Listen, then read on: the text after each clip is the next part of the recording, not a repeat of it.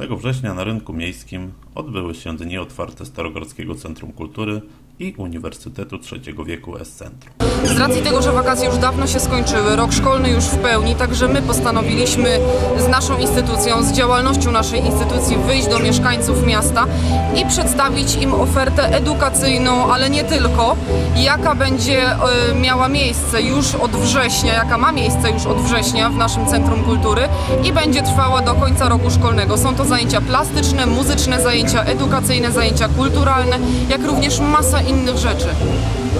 No Monika właśnie powiedziała prawie praktycznie wszystko, żeśmy chcieli zbliżyć się do ludzi, bo jesteśmy po to, żeby tworzyć piękną, dużą kulturę przez duże K.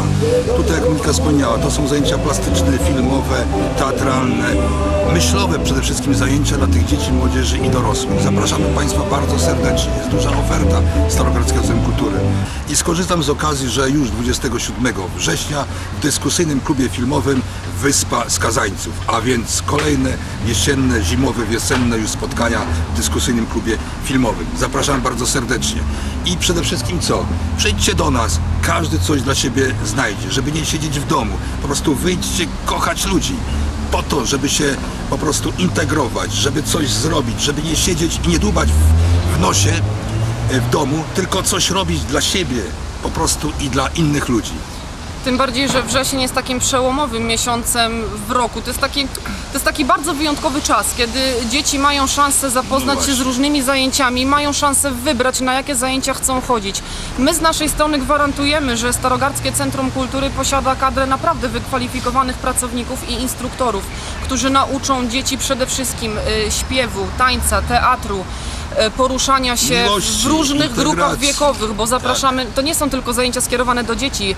Zajęcia mamy z podziałem na grupy wiekowe. Dzieci, młodzież, dorośli. Są to zajęcia manualne, są to zajęcia taneczne, plastyczne, muzyczne. Masa różnych zajęć. To wszystko znajdziecie Państwo na naszej stronie internetowej www.sck.art.pl.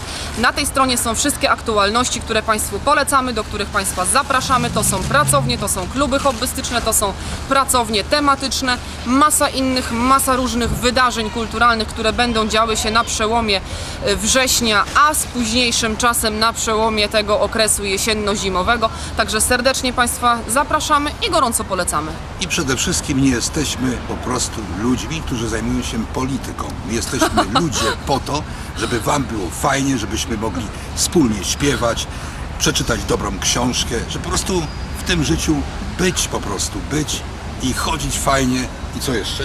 Starogardzkie Centrum Kultury otwarte, otwarte na ludzi kulturalnych przede wszystkim i ludzi, którzy chcą coś robić. Jeżeli ludzie mają pasję, mają odrobinę wolnego czasu, są zainteresowani i jesteśmy do Państwa dyspozycji od poniedziałku do piątku, Tak od godziny 7 do godziny 16.